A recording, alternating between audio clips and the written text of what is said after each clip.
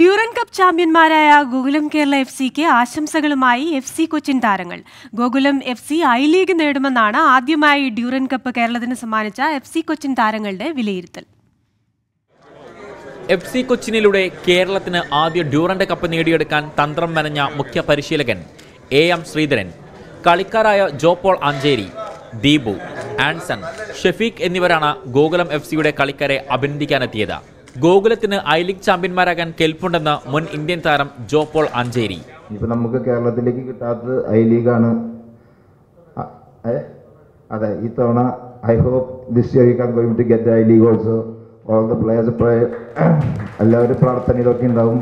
Kozhikode mayor Thottathil Raveendran ചടങ്ങിൽ പങ്കെടുത്തു.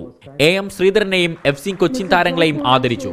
Kozhikode press ക്ലബിന്റെ നേതൃത്വത്തിലും ഗോകുലം കേരള എഫ് സിക്ക് സ്വീകരണം നൽകി. ടീമിന് നൽകിയ ഉപഹാരം ക്യാപ്റ്റൻ മാർക്കസ് ജോസഫ് ഏറ്റുവാങ്ങി. ട്വന്റി കോഴിക്കോട്.